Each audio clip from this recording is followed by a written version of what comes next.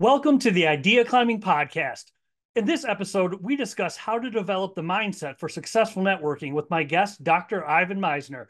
Ivan is the founder of BNI, or Business Network International, that boasts 11,500 chapters in countries around the world. Members reported 24.3 billion in closed business for the organization last year. There are over 100 countries in the world with a lower GDP or gross domestic product than that number. We dive into topics such as how to bridge the gap between visibility, credibility, and profitability without being too salesy, the best way to get more ongoing qualified referrals with the GAINS methodology, the big difference between a lead and a referral, and more golden nuggets of advice. You're going to love this show.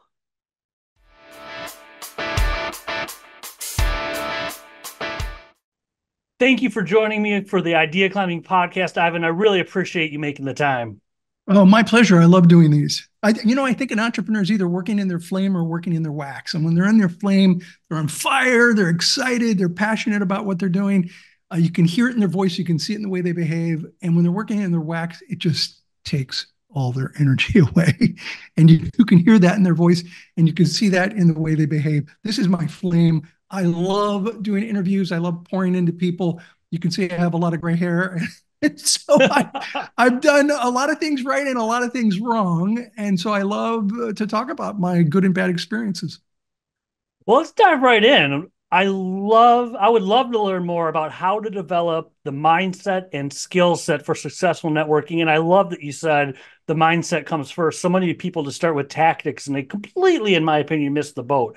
How did you learn that? What's the story behind that? Yeah, well, you know, again, I have a lot of gray hair. I learned the hard way. Um, you know, I think most people, well, first of all, we don't teach this in colleges and universities. It's not taught in school anywhere in the world, not just in North America, but anywhere in the world. We, we don't teach it. So what happens is people go out and they have the wrong mindset. They use networking as a face to face cold calling opportunity. Hi, my, Mark, my name's Ivan uh, you know, let's do business. Or here's three copies of my card. Maybe you'll pass them on to some friends or some crazy thing like that. And um, I, I, so I went to an event in London uh, quite a few years ago, and there were 900 people. I was the keynote speaker. Speaker, and I watched this event take place all day.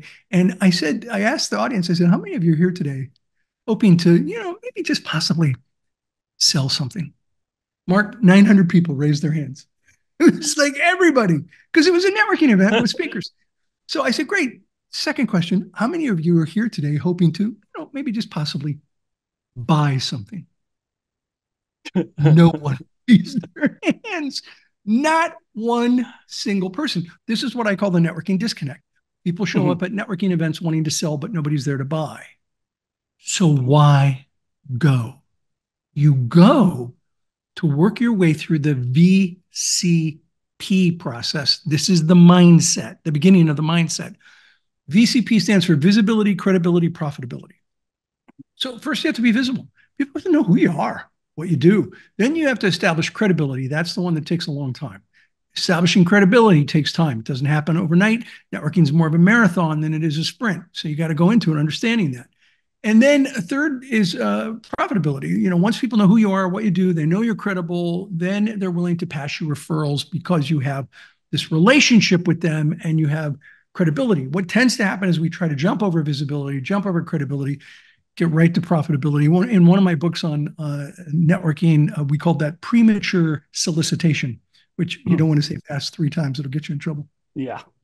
so that's part of the mindset is it's all about relationships. It's not about transactions. So entrepreneurs at the end of the day do need to sell. As far as how do you do it without being, I'll use the word salesy or schmarmy. How do you bridge that gap between credibility and visibility and profitability without being like, oh God, here he comes. I see him, you know, the person you see across the room and think, oh, here comes the pitch. How do you do it without being that way? Well, you do it by finding ways to help someone else. Uh, you know, our philosophy in the company that I started, BNI, is givers gain, and and we incorporated that into the organization because we understood that if you want to get business from people, you have to be willing to help other people. And so, what tends to happen is the exact opposite. We meet someone and we're trying to close them, uh, sell to them, especially if we're networking up, networking with somebody who's more successful than us. Man, we're going right for the sale, and that's a huge mistake Instead, what you want to do is build a relationship. You want to find overlapping areas of interest and you want to find ways to potentially help that individual. And by help them, I don't mean sell them your product or your service. You know, it might be something as simple as, you know, when I have a conversation with someone, uh, they may say, you know, I'm struggling with this issue or that issue. And I'll say, hey, you know, I, re- I read an article on that, or I know somebody who's a coach in that area. Would you like me to make an introduction? And and nine times out of ten, they say, yeah, that would be great. And then I say, well, uh, you know, give me your card, and uh, here's mine, and I will absolutely you know, give you a call, or I'll, I'll, I'll link the two of you together. Now, I usually write on the back of their card, introduce them to so and so. Just you know, mm-hmm. I'm in mm-hmm. 75 countries. If you're in North America, don't do that in some countries. In some countries, like particularly in Asia, Japan, uh, China, it's it's it's rude to write on a business card. So in some countries, have a notepad. Uh, in the U.S., you know, U.S. It's like, oh, here's my card. You know, it's no big deal. Yeah and writing on the back. I, I still say, do you mind if I, you know, make a note on the back of your card? And they always say yes. Anyway, then I go back and when I get home, I make the introduction to the person I know, like, and trust. Somebody who I'm at credibility with, and they're at credibility with me, maybe even profitability. We may have referred each other. Now I've helped this person. Now, if you help somebody and then you call them two, three weeks later and you say, hey, how'd that work out? That introduction I made. And they say it worked out great. Or, or they may sometimes say, well, it didn't work out, but I really appreciate the introduction. If you then said, I'd love to get together with you for coffee or lunch and just learn more about what you do and maybe tell you a little bit about what I do. I just a just a meeting to to make a connection with you. Um, would you be available? I'm telling you, if you start by helping someone, nine times out of ten, they're going to say, Yeah, of course, be happy to get together. That's how you should be networking. You're not trying to sell to people, you're trying to build relationships with people. Mindset. So, what are some ways to build? Once you get visibility, I think that's a little bit easier of the three as far as going to networking events, online, offline, whatever it might be once you get visibility, what are some ways to build the credibility? Because I agree, I think that that one in particularly is a just leapfrogged. It's just yes. boom, bye. How do you build credibility? Well, you, you got to attend networking groups. You know, people need to see you. Networking is a contact sport. You know, they, they need to actually see you uh, and and and and listen to other people talk about you and talk to you. That helps. Also, one to ones. Doing one to ones. Uh, that meeting that I mentioned is very, very important. In BNI, we did a study of, and, and we meet every week in, in our organization. So, you know, they're, they're meeting a lot. But here's, here's a key bit of data to answer your question. People that did four one-to-ones a month, meeting with somebody individually at a coffee shop or whatever, versus one one-to-one a month. The people who did four meetings in person, one to one, four a month, gave a hundred percent more referrals to that individual or to the individuals in their network. But more importantly, they received a hundred percent more referrals, literally double. It was oh a master's. Yeah, it, it, was a master's thesis in yeah. um, um, Europe, and so we have the data. We have it's on it's on um, one of my podcasts, uh, bnipodcast.com, and um, it, it, twice as many referrals by just meeting with someone for coffee once a week. It, you see, networking is more about farming than it is about hunting. It's about mm-hmm. cultivating relationships with people. That's the way you get referrals, not by going out and just trying to close deals. I mean, look, people say to me, "Yeah, but you know, I I want to, I need to, you know, sell something, sell something." Even a blind squirrel can find a nut. You're going to stumble over business, right? It'll yeah. it'll happen. But if you want ongoing referrals, it's all about relationships.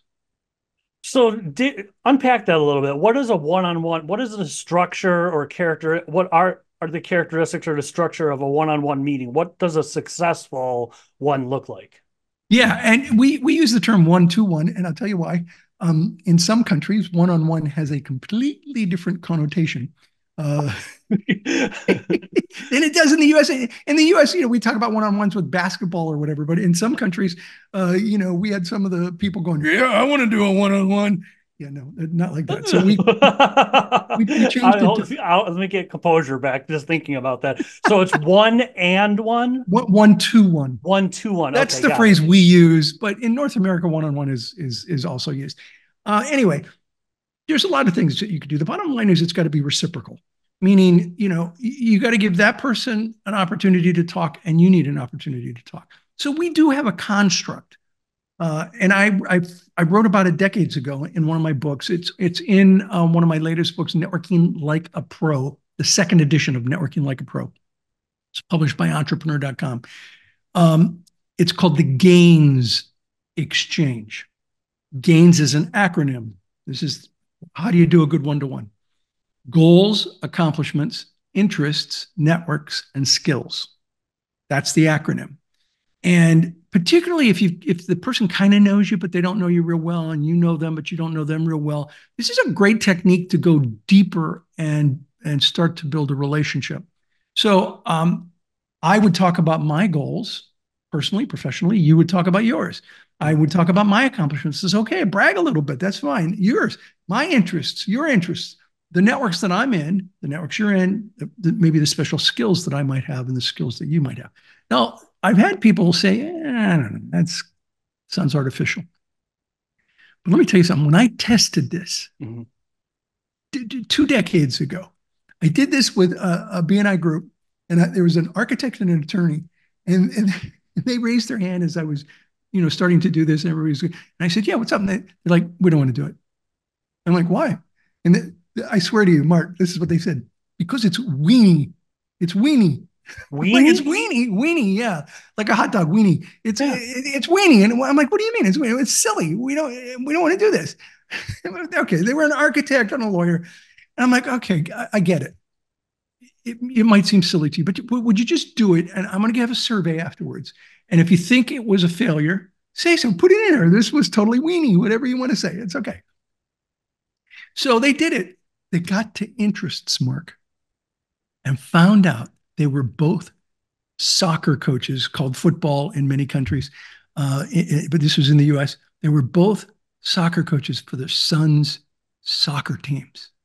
Oh. That's it. They didn't talk about anything else. They never got to networks and skills. All they did was talk about soccer and coaching techniques and and what they were doing you know what one was doing what the other was doing and they agreed to go scout for each other. So one would go and videotape uh, uh, the competition for the other and then the other would go and videotape the competition for one and they would share the videos with each other. Now they had both been in this group for almost a year and they had never given each other a referral.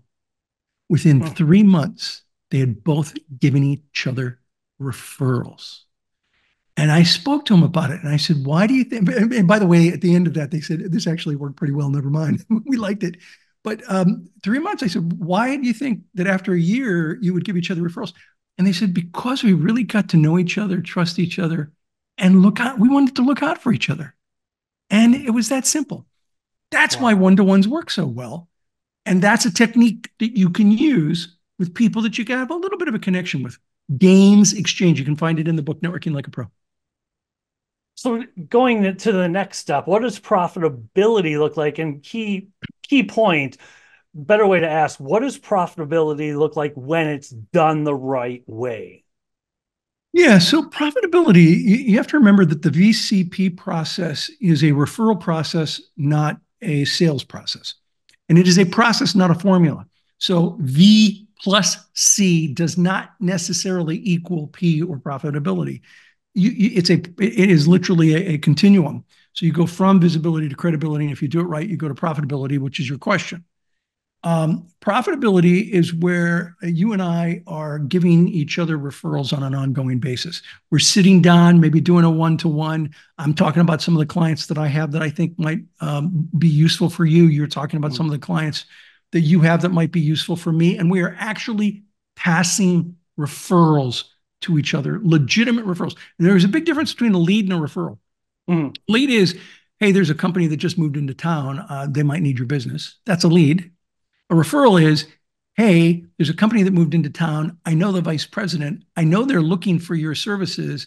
Um, would you? I'd, I'd love to make an introduction. Is that something that you would like? Yes, it is. And then you go and you talk to your contact, and then you, you put the two of them together. a really good phase of profitability is you don't just introduce them together like by email.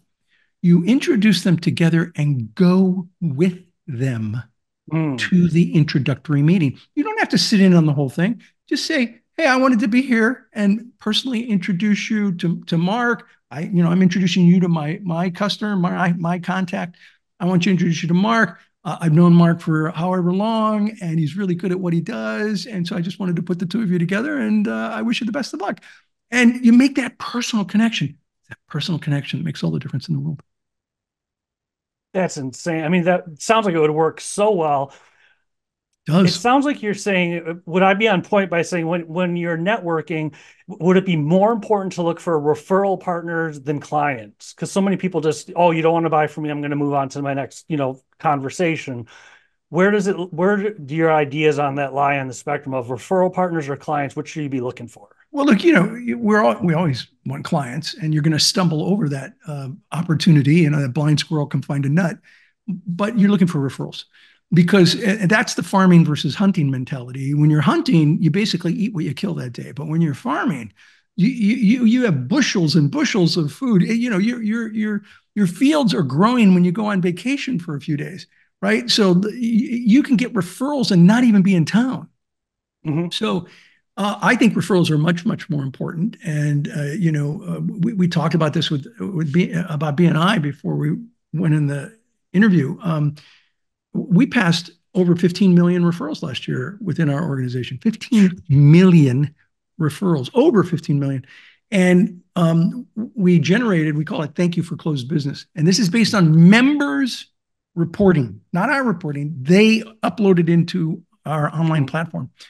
We generated 24.3 billion with a B, 24.3 billion US dollars in thank you for closed business uh, in the organization. Now, just to put that in perspective, Mark, yeah. are actually, if you take a look at United Nations estimates of GDP, gross domestic product, there are actually 100 countries in the world with a lower GDP than what we generated for our members. And thank you for closed business.